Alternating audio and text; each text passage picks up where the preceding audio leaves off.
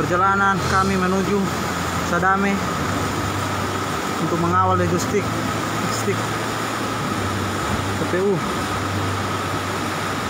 ya salah satu petugas keamanan Pak polisi Pak Putu. Yang di Batu Pesusu ini katanya orang dua dulu orang Batu Pesusu kalau melihat medan begitu berat.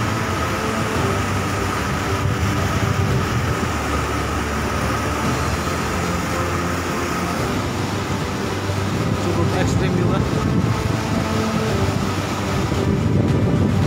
Sampailah.